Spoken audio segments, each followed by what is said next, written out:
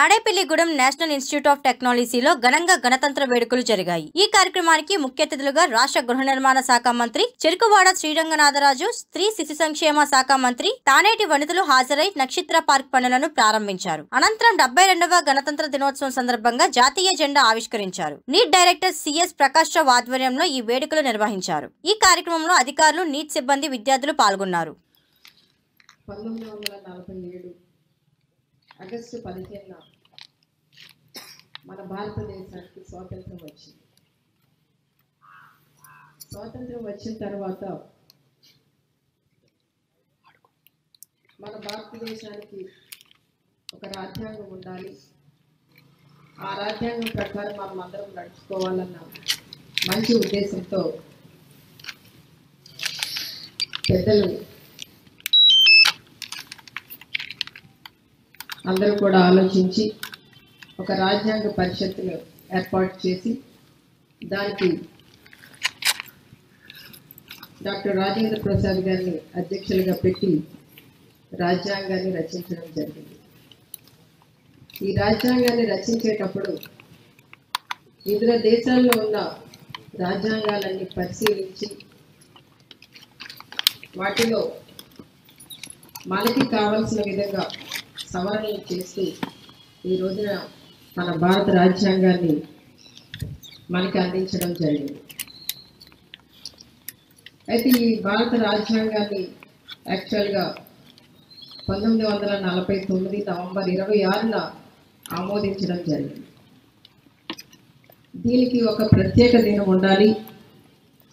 దాని దేశ చరిత్రలో స్థిరస్థాయిగా నిలిచిపోయి ఒక డేట్ ఉండాలని ఒక రెండు నెలల కాలం ఆగిన తర్వాత నవంబర్ ఇరవై ఆరుని తీసుకొచ్చి జనవరి ఇరవై ఆరుకి అంటే రెండు నెలల కాలంలో పంతొమ్మిది వందల యాభై ఈ సంవత్సరంలో జనవరి ఇరవై ఆరున గణతంత్ర దినోత్సవం సందర్భంగా రాజ్యాంగాన్ని ఆమోదిస్తూ ఆ డేట్ని అంటే ఈ రాజ్యాంగాన్ని ఆమోదించిన దినంగా ఈ రోజున మనం గణతంత్ర దినోత్సవాన్ని జరుపుకుంటున్నాం. యాక్చువల్గా ఈ నవం జనవరి ఇరవై ఆరుకున్న ప్రాముఖ్యత ఏంటి అంటే మనకి స్వాతంత్రం రాకముందు లాహోర్లో మన కాంగ్రెస్ జాతీయ పార్టీ నాయకులందరూ కూడా రావి నది పక్కన ఒక మీటింగ్ ఏర్పాటు చేసుకున్నారు. ఆ మీటింగ్ మీటింగ్ యొక్క ముఖ్య ఉద్దేశం ఏంటంటే అప్పటికి మనం రెండు వందల సంవత్సరాల నుండి బ్రిటిష్ వాళ్ళ యొక్క పాలనలో మగ్గిపోతున్నాం. వాళ్ళ నుండి మనం ఆధ్యాత్మికంగా రాజకీయంగా మాత్రమే స్వాతంత్రాన్ని అడుగుదాం. మిగిలిన దాంట్లో సామంత రాజ్యంగానే వాళ్ళ కింద ఉందామని వాళ్ళంతా కూడా ఆలోచించుకున్నారు. ముందు ఆ రోజున అక్కడ జరిగిన మీటింగ్లో జవహర్లాల్ నెహ్రూ లాంటి పెద్దలందరూ కూడా ఇది కరెక్ట్ కాదు. మనం అందరం కూడా సంపూర్ణ స్వాతంత్రాన్ని మనం అడగాలి అని చెప్పి ఆ మీటింగ్లో ఒక వేడిని పుట్టించి వాళ్ళందరిలో ఒక ఉద్రేకాన్ని తీసుకొచ్చి మనకి ఆధ్యాత్మికంగా రాజకీయంగానే కాదు మన భారతదేశానికి సంపూర్ణ స్వాతంత్రం తీసుకొచ్చే విధంగా మనమందరం కూడా పోరాటం చేయాలని తీర్మానం చేశారు. తీర్మానం చేయడమే కాకుండా త్రివర్ణ పథకాన్ని కూడా అన్ని చోట్ల ఎగరేసి ఆ రోజునే మనకు స్వాతంత్రం వచ్చినట్లు ప్రకటించారు. ఆ డేట్ని ఎప్పుడూ కూడా మన భారతదేశ చరిత్రలో స్థిరస్థాయిగా ఉండాలి అంటే దానికి ఒక ప్రాముఖ్యత కల్పించాలని ఆ రోజునే రాజ్యాంగాన్ని ఆమోదించిన దినంగా ఈ రోజున మనం అందరం కూడా రిపబ్లిక్ డేని జరుపుకుంటున్నాం. అయితే మనకి ఈ రాజ్యాంగాన్ని అమల్లోకి తీసుకొచ్చిన తర్వాత ఈ రోజున మన భారతదేశం యొక్క విధానం ఎలా ఉంది అంటే మన భారతదేశం సర్వసత్తాక స్వామ్యవాద లౌకిక ప్రజాస్వామ్య గణతంత్ర రాజ్యంగా ఈ రోజున మనం అందరం కూడా అమలు చేస్తున్నాం. అంటే అవతరించడం వల్ల మనం దీన్ని అమలు చేస్తున్నాం. ఈ రోజున మన భారతదేశానికి ఎంతోమంది త్యాగజీవులు ఎంతోమంది పోరాట యోధులు తమ ప్రాణాలను కూడా ఏమాత్రం లెక్క చేయకుండా తృణప్రాయంగా వదిలిపెట్టి మనకి బ్రిటిష్ వాళ్ళ నుండి వాళ్ళ అరాచకాల నుండి మనకి స్వాతంత్రాన్ని తీసుకొచ్చి ఈ రోజున మనకి ఎంతో మేలు చేశారు. మనకి స్వాతంత్రం వచ్చి ఇన్ని సంవత్సరాలు అవుతున్నా కూడా మనమందరం కూడా ఎవరికి వారమే. మన స్వార్థపూరితమైన అలవాట్లలో మన జీవన విధానంలో మనం ఉంటుంది. మరి వారు చేసిన త్యాగానికి మనం ఇచ్చే మన దే మన భారతదేశ పౌరుడిగా మనకున్న బాధ్యత ఏంటి అనేది మనం ఎంతవరకు ఆలోచిస్తున్నాం. ఈ రోజున మనమందరం కూడా మన కోసం ప్రాణత్యాగం చేసిన మహానుభావులందరినీ జ్ఞాపకం చేసుకోవడమే కాదు వారు అవలంబించిన మార్గాల్లో కూడా మనం వెళ్ళవలసిన అవసరం ఉంది. ఈ రోజున మనం అందరం కూడా ఇక్కడ ఉన్న వారందరూ కూడా అందరూ ఎడ్యుకేటెడ్స్. అయినప్పటికీ కూడా మనం ఏం చేస్తుంటామంటే మన వారికి మన పరిధి తీసుకుంటూ ఉంటాం. మరి ఆ రోజున వారంతా కూడా నా లైఫ్ ఇంతే నేను ఇంతే నా ఫ్యామిలీ నేను హ్యాపీగా ఉన్నాం అనుకుంటే మరి మన భారతదేశానికి స్వతంత్రం వచ్చేదా? మనం ఈ రోజున ఎంత స్వేచ్ఛగా స్వతంత్రంగా బ్రతకగలిగే వాళ్ళమా? ఆ రోజున వారు అలా ఆలోచించలేదు కనుకనే ఇదంతా మనది మన భారతదేశం మన భరతమాత. మనమందరం కూడా భరతమాత బిడ్డలమని వాళ్ళు అనుకున్నారు కనుక యూనిటీగా పనిచేశారు కనుకనే ఆ రోజున బ్రిటిష్ వాళ్ళని వెళ్ళగొట్టగలిగారు faculty, staff of NIT Andhra Pradesh, CPWD engineers, all other invitees, security guards, COVID frontline workers like police, AP police, we feel proud of you all. I welcome you all for this 72nd 72 Republic Day celebrations at NIT Andhra Pradesh. NIT Andhra Pradesh was started in this campus just one year back. We are celebrating this second Republic Day celebrations in our campus. And almost we are seeing the entire India has witnessed the attack of corona virus, the COVID-19 pandemic that has hit entire India, strangulated us, our life on a everyday basis. In the past nine months, we have been suffering with this because we are not able to move. At the same time, we have to do work. Otherwise, our work is getting pending. We are, we is a teaching institute. We have to train our students, the future manpower of India. And we have to provide all the R&D inputs to the PhD scholars. So we have, we were suffocated with the, you know, lack of movement the biggest democracy like India has escaped from the COVID pandemic crisis, where other small countries have been severely attacked by this and uh, you know and lost huge human life.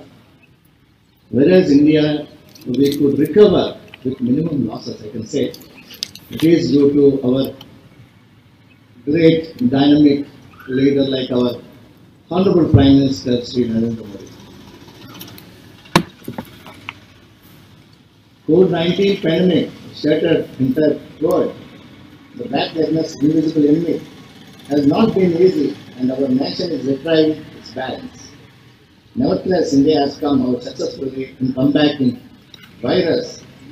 India has grabbed global attention with the indigenous development in vaccine. In a way, I can always, always say that, you know, in the last one year, the India R&D output has been increased in multi-folded way. Because India has become number one in pharmacy. Now people are looking at India as pharmacy hub of the world. It is because of the COVID. Intense R&D activity has been started. And we were able to produce the masks, the PPT kits within no time and able to supply to the entire world. That is the potential of India. The potential of India has been recognized in the, uh, in the tough time like this COVID. India is committing to its global community healthcare and is becoming Atmanirbhar. Atmanirbhar Bharat, where PM or PM has given 20 lakhs crores of rupees to make self-reliant India. I'm sure that we are, we are all going to witness the, the you know the colorful changes that has that, that have happened in future because of Atmanirbhar. డెబ్బై రెండవ గణతంత్ర దినోత్సవ.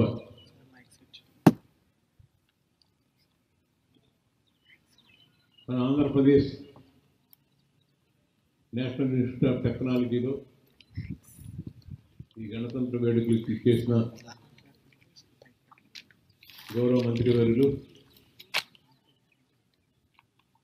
శ్రీ శిశు శాఖ మంత్రులు సానేటి మణి గారికి NIT Andhra Pradesh director CSP Rao గారికి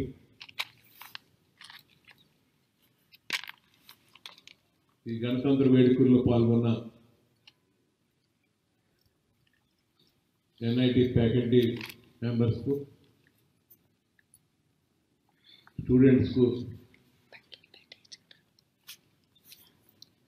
అధికారులకి ప్రెస్ వారందరికీ కూడా గణతంత్ర దినోత్సవ శుభాకాంక్షలు తెలియజేస్తూ మన భారతదేశానికి ఇండిపెండెన్స్ వచ్చిన తర్వాత రాజ్యాంగాన్ని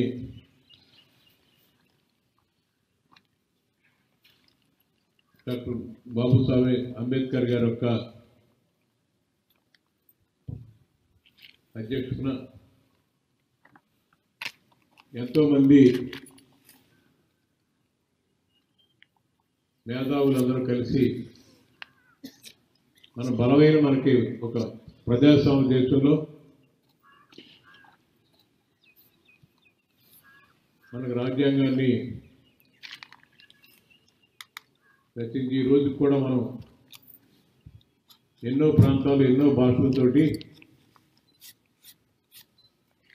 విభిన్న మతాలతోటి భారతదేశం కూడా ప్రపంచంలోనే ఒక ప్రజాస్వామ్య దేశంగా ఈరోజు ఉందంటే దానికి కారణం మన యొక్క రాజ్యాంగంలో ఉన్న స్ఫూర్తితోటి ఈరోజు మనందరం కూడా ఈ- ఈ యొక్క డెబ్బై రెండవ గణతంత్ర దినోత్సవ వేడుకలు చేసుకోవడం జరుగుతుంది. ఏదైతే దేశం అభివృద్ధి చెందాలంటే ముఖ్యంగా విద్య విద్య అవసరమైన ఉద్దేశంతో మన అన్ని ప్రభుత్వాలు కూడా దీని మీద ఎంతో శ్రద్ధ పెట్టి ముఖ్యంగా గ్రామీణ ప్రాంతాల్లో కూడా టెక్నికల్ ఎడ్యుకేషన్ అనేది మరీ ఇంపార్టెంట్గా ఈరోజు పెడుతూ మన ఆంధ్ర రాష్ట్రంలో తాడేపల్లిగూడెంలో ఈ నేషనల్ ఇన్స్టిట్యూషన్ మనకి ఇచ్చి ఇక్కడ ప్రభుత్వ భూమిలోనే ఇక్కడ మనకి హార్ట్ ఆఫ్ ది టౌన్లో తాడేపల్లిగూడలో దీన్ని ఏర్పాటు చేయడం జరిగింది. అతి తక్కువ టైంలోనే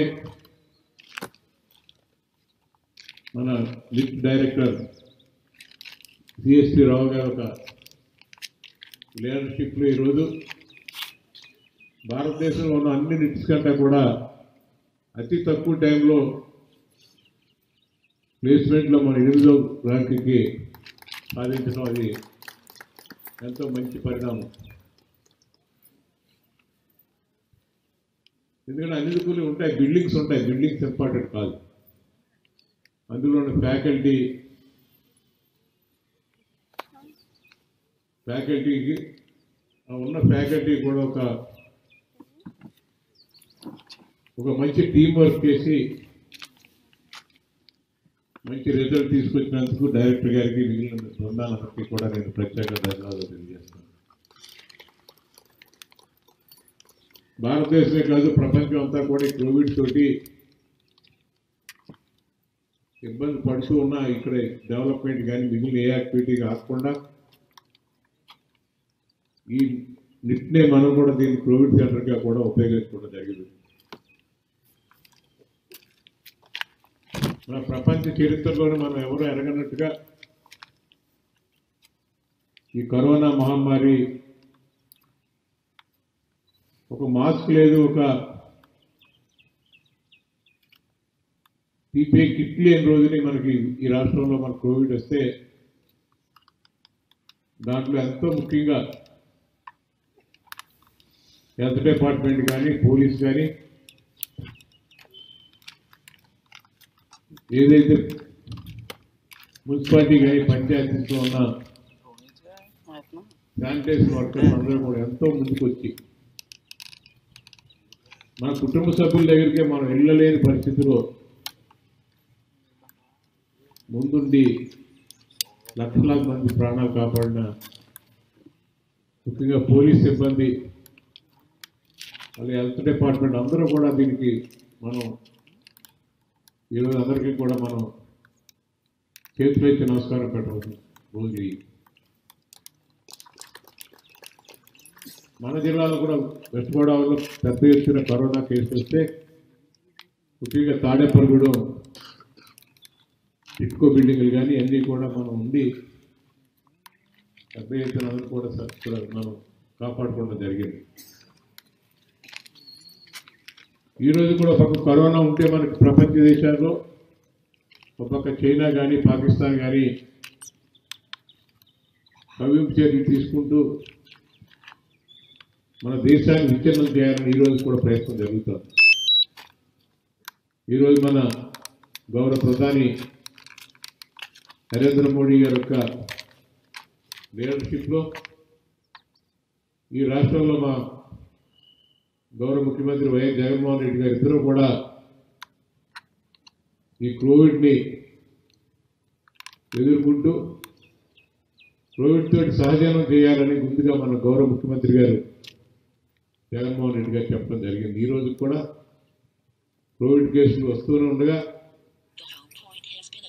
అదే విద్య కూడా ఎడ్యుకేషన్ కూడా ఎక్కడా కూడా ఇబ్బంది పడకూడదు. స్టూడెంట్స్ కానీ ఆన్లైన్ సిస్టమ్ తీసుకొచ్చి పూర్తి స్థాయిలో ఎడ్యుకేషన్ కూడా దృష్టి పెట్టడం జరిగింది. ఈరోజు మన భారతదేశ చరిత్రలోనే కోవిడ్ని ఎదు ఎదుర్కొనడంలో మన రాష్ట్రం ముందు ఉందని సందర్భంగా చెప్పడానికి ఎక్కడ కూడా పూర్తి స్థాయిలో దానికి మనకున్న యంత్రాంగం అధికారులు పటిష్టమైన ಎಡ್ಮಿನಿಸ್ಟ್ರೇಷನ್ ಉಂಟು ದೀನಿ ಉದಾಹರಣ తెలియజేస్తున్నాను